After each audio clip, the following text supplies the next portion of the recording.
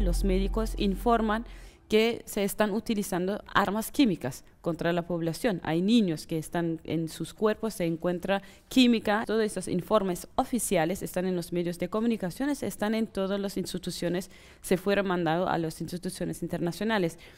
Y a pesar de todas esas eh, pruebas, y no se puede evitar esta eh, lanzamiento del presidente de Turquía o del ejército de Turquía con sus grupos yihadistas. Entonces hay un concepto, hay una guerra internacional contra eh, el norte de Siria.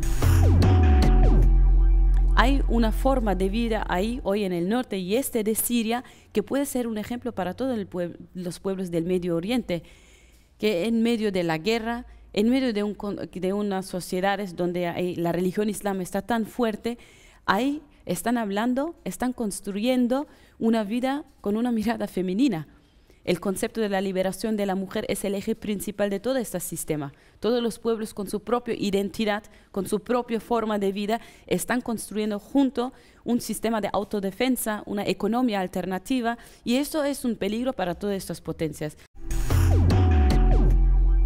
Creemos que en América Latina hay aspectos del feminismo, en especialmente en Argentina, el feminismo que cree también la liberación de la mujer, que es la liberación de la sociedad. Y la lucha contra el capitalismo, la lucha contra los Estados-naciones, la lucha contra el imperialismo es la lucha contra el patriarcado. Y estas, estos aspectos, estos puntos nos unen con las mujeres de Argentina y las mujeres de América Latina, porque nuestro objetivo es de liberar todo el mundo y creemos que una lucha en común, una lucha universal de las mujeres es una necesidad y siempre repetimos que América Latina y mujeres de Kurdistán y del Medio Oriente pueden dar el primer paso para crear esa lucha en común.